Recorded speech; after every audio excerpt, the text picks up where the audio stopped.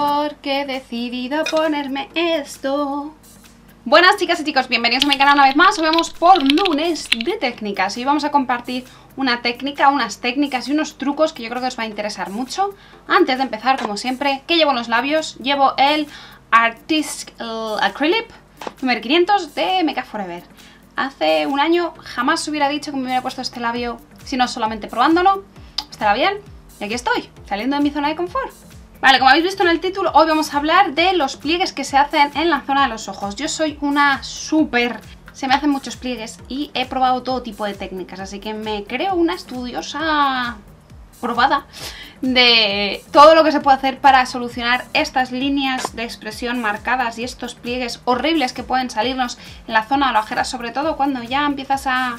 Pues eso, que no tienes 20 años y esta zona ya empieza a tener más textura, entonces depende de lo que le pongamos o qué producto le pongamos, evidentemente nos pueden marcar las líneas de expresión, se nos pueden hacer pliegues o nos pueden hacer más texturas. Hoy os voy a contar unas cosillas que yo he utilizado que sé que funcionan y que he ido probando para que podamos solucionar ese problemilla. Lo primero antes de nada, lo primero es elegir la buena textura del corrector, evidentemente. Si no elegimos una buena textura del corrector, se nos puede hacer pliegue sí o sí. Eh, y la textura la tenemos que adaptar dependiendo, por un lado, de nuestro tipo de piel, el estado en el que esté y por qué, cobertura queremos conseguir o qué acabado queremos conseguir. Si tenemos la piel seca, normalmente tenemos que tender a utilizar productos que sean un poquito más eh, hidratantes, más cremosos, más jugosos, más untuosos. Y si tenemos la piel grasa o más tirando a grasa, podemos utilizar productos que sean más resecos, más compactos, más... Em, eh, densos, que no sean tan cremosos y tan suaves, para conseguir que se quede con más facilidad en la piel si tenemos una piel media, entonces podemos optar por la que más nos apetezca o la que más nos guste, la textura más nos guste. Y dentro de esas texturas hay todo tipo de coberturas. En, correctores más cremosos hay desde muy livianas hasta muy intensas. Y en correctores más densos y más compactos hay desde... No, solo hay coberturas más altas, medias y altas. Los, efectos más compactos y más densos suelen conllevar con ello un poquito más de pigmentación, así que las texturas más livianas son más difíciles de encontrar. Hay varios consejos que os puedo hacer que pueden hacer que sea más fácil que no consigamos esos pliegues y esa densidad en la, en la piel. El primero y el principal es saber que tenemos esa zona bien hidratada. No tenemos que habernos lavado el rostro y hidratado el rostro antes de aplicar maquillaje porque puede que no encaje por las horas, pero es importante saber que si tenemos una zona del contorno de ojos muy seca, reapliquemos nuestro contorno de ojos antes de maquillarnos. Simplemente coger tu contorno de ojos que siempre utilizas, coger un pequeño... Ya hablamos de ello la semana pasada, sabemos cómo funciona. Cogemos en los dedos anulares un poquito de producto y simplemente lo aplicamos en la zona para asegurarnos que esté bien hidratada antes de aplicar el maquillaje. Y como esto es un producto que tenemos que dejar que haga su acción y que se vaya subiendo, yo os aconsejo que apliquéis este contorno más o menos unos 10 minutos antes de maquillaros, ¿vale? Cuando sepáis que os vais a ir a maquillar, lo aplicáis un poquito antes para aseguraros que esta zona está totalmente hidratada y que le estamos dejando la más eh, hidratación y jugosidad posible Da igual si tienes la piel grasa, el contorno también te va a ayudar a hidratar y la hidratación también es buena para la piel grasa. Eso no quiere decir que aportemos eh, aceite o grasa, sino pues habrás elegido tu contorno que mejor te vaya, más liviano, con más textura, más cremosa y ese es, o más gelosa y ese es el que vamos a aplicar, ¿vale? Entonces dejamos que se asiente 10 minutos y pasamos al siguiente mm, truco. Así que mientras eh, se va sentando lo que voy a hacer es hacer una cercanía a los ojos para enseñaros los siguientes truquitos, ¿vale? Vamos a ello. Tenemos varias formas de preparar ahora la zona de, las, eh, de, las, de los pliegues. Luego al final del vídeo os contaré truquitos y cosas que tener en cuenta. Vamos a usar productos como tal. Este es un producto de Smashbox, se llama Photo Finish Eat Retain Under Eye Primer. Es una prebase que hidrata la zona y eso hace que prevenga bastante las, los pliegues. También eh, hace que mm, no se hagan texturas y pues eso, que, que la zona esté mucho mejor. Entonces simplemente como si fuera un corrector, cogeríamos una pequeña cantidad. Voy a hacer uno de los ojos y voy a haceros la otra en el otro. Cogeríamos una pequeña cantidad y la aplicaríamos suavemente. En esta ocasión sí que nos vamos a meter un poquito más de la zona del hueso suavemente y lo llevamos bien a la zona de la el principio de la jera porque es donde más voy a concentrar la aplicación del corrector. Entonces es donde más me interesa que esté bien hidratado y que no salgan los pliegues. Nos aseguramos que está bien hidratado. Si tenemos este tipo de productos, a lo mejor podemos haber saltado la hidratación del contorno de ojos antes, porque este ya tiene su efecto hidratante.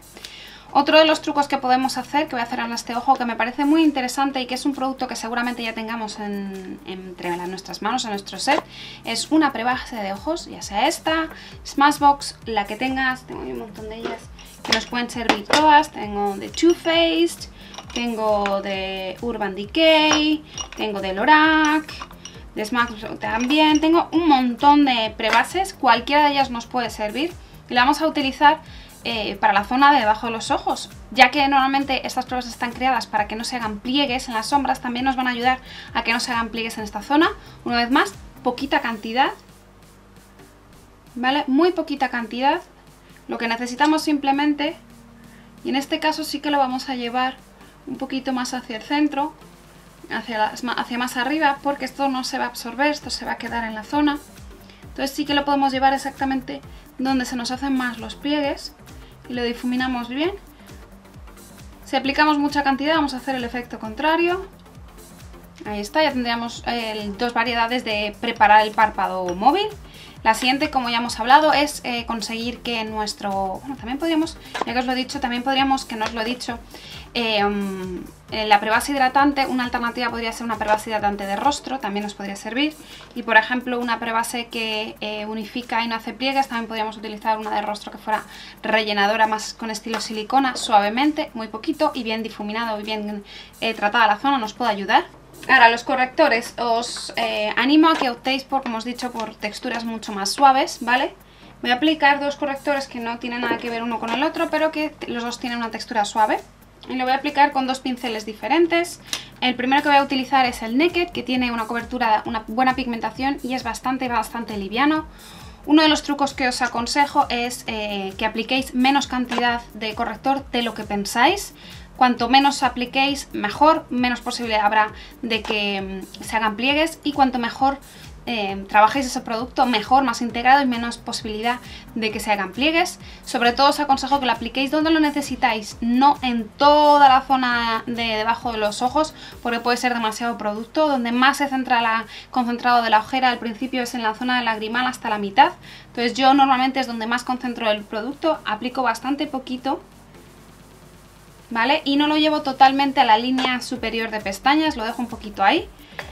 Y en este caso voy a trabajar con un pincel un poquito más suelto, pero podríamos trabajar con un pincel plano y dándole a toquecitos o incluso con nuestro propio dedo para que se quede bien integrado. De hecho, aplicarlo con nuestro propio dedo es una buena alternativa para conseguir que el corrector se integre muy bien. Entonces voy a darle toquecitos de la misma manera que haría con el dedo. No voy a llevarlo más arriba del el pliegue que tenemos aquí, ¿veis eso? esa como banana que tenemos ahí. No voy a llevarlo más arriba de ahí. Voy a concentrar bien el principio de la ojera, bien difuminado.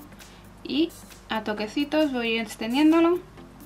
De esa manera voy a evitar esta zona de aquí que se hacen bastantes pliegues. No voy a subir hacia la línea del, de pestañas que también se hacen bastantes pliegues. Y como hemos puesto producto debajo, una prebase, no voy a dejar que se mueva demasiado, entonces voy a hacerlo todo a toquecitos.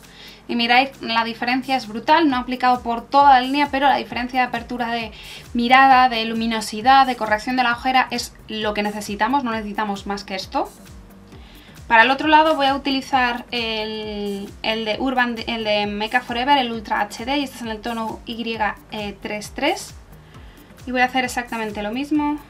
Voy a aplicarlo sobre todo, más concentrado la cantidad en la zona... Voy a coger un, un pincel de corrector que son los que a lo mejor más se pueden ver para que veáis también que se puede utilizar de este estilo, que serían estos de lengua de gato. Y simplemente a toquecitos lo vamos a ir aplicando, evitando subir demasiado y trabajando bien la zona lagrimal toquecitos para que se integre bien. Vale, y ahí tenemos la integración. Queda diferente porque son diferentes colores, un poquito más clarito, más pigmentado el Naked, este queda un poquito más natural. Em, y también la forma de aplicación varía un poco, con este conseguimos menos cobertura que la difuminación que yo consigo con este. Ahora, el siguiente paso, hay que tener un poco de cuidado en el siguiente paso, ¿vale? Pero es necesario. Y sería la fijación del, del corrector. Es importante fijar el corrector, ya que es un producto en crema, con polvos translúcidos, porque si no, sí o sí se van a hacer pliegues. Así que es importante em, aplicarlo. Yo en este caso normalmente em, utilizo unos polvos que sean muy livianos. Voy a utilizar estos de, de Apiu, de, son minerales y voy a utilizar una Beauty Blender humedecida para que me selle, pero de la misma manera no me aporte demasiado em, matificación, ¿vale? Estos tienen un ligero tono rosita, entonces va a ayudar también bastante a la luminosidad. Y voy a ir aplicando suavecito. Si tienes la piel más seca, eh, más grasa, perdón, a lo mejor eh, aplicar em, con una, borla estos polvos o incluso con un pequeño em, pincel. Yo ayudo la, la, Beauty Blender para que me dé un efecto un poquito más jugosito. Otro de los trucos importantes es cuando se te queda, pese a que hayas aplicado muy poquita cantidad, se te puede quedar un poquito reseca la zona. Entonces uno de mis trucos es coger la Beauty Blender y un setting spray que sea hidratante. Eh, hacemos un par de pumps en la esponjita y aplicamos de esta manera, vamos a asegurarnos que está bien fijado porque es un setting spray, pero a la vez evitamos ese efecto de empolvado que a lo mejor para la piel seca no le va demasiado bien. Pues conseguimos que se quede fijo, que no se hagan pliegues, pero está hidratado. Otro truco, me he quitado el corrector para que lo veáis, otro truco para quitar los polvos que a mí me funciona muy bien es pasar, eh, saltarnos los polvos y hacer los trucos que, te, eh, os he contado antes, lo voy a hacer con el mismo, pero eh, con el corrector y con el, setting spray sin necesidad de aplicar los polvos. Ese es uno de los que a mí mejor me funcionan, yo tengo la piel extremadamente seca en esta zona y tengo mucha mucha textura, entonces em, si no controlo eso se me marca la textura con muchísima facilidad. Entonces yo paso em, este paso, o sea, podría haber aplicado la hidratante, la prebase hidratante de ojos o el contorno de ojos y luego aplicaría el corrector como estoy aplicando ahora, ¿vale? Y el siguiente paso directamente sería coger la Beauty Blender, mojarla con el setting spray y aplicarlo de forma controlada, de esa manera me da mucha hidratación y en cuanto se, evapore y se seque el setting spray, consigo que la zona del corrector se fije. Este para mí es el truco que más me funciona. Eh, si, tienes la piel seca es el que mejor funciona porque da igual el producto de polvos que use, el tipo de polvos que use, siempre termina resecándose muchísimo esa zona de mis ojos y lo noto y incremento las texturas y es algo que no me gusta. Así que normalmente o, em, o tengo mucho cuidado con qué producto aplico o hago esta técnica. Eh, recordar que no tenemos polos, entonces el hacerlo a toquecitos hace que no nos llevemos el corrector, ¿vale? Si no nos lo vamos a llevar. Entonces nos deja un efecto corregido de la misma manera, pero no se hace absolutamente nada de pliegues ni se aumentan las texturas y es un truco que me gusta mucho. Vamos a echar un poquito para atrás, chiquillos.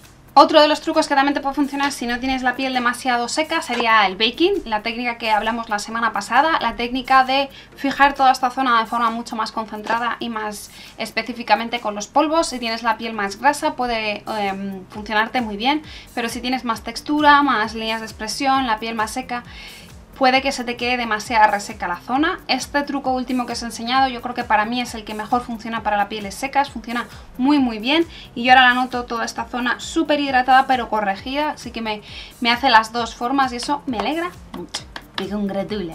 Así que nada, eh, espero que os haya gustado, eh, dadle deditos hacia arriba os ha gustado este vídeo de técnicas y dejadme un comentario en qué técnica queréis que repase o qué es lo que queréis que, de lo que hablemos en el próximo vídeo, en el lunes que viene. Y nada, espero que os haya gustado, compartirlo si os ha gustado. Bueno, es que lo digo compartir, pero es que luego no, no se puede compartir el vídeo. Pero compartirlo de patrón para que la más gente lo pueda ver si quiere. Y nada, espero que os haya gustado. Como siempre, millones de gracias por estar una vez más ahí más conmigo. Ser muy felices y nos vemos en la próxima. Chao.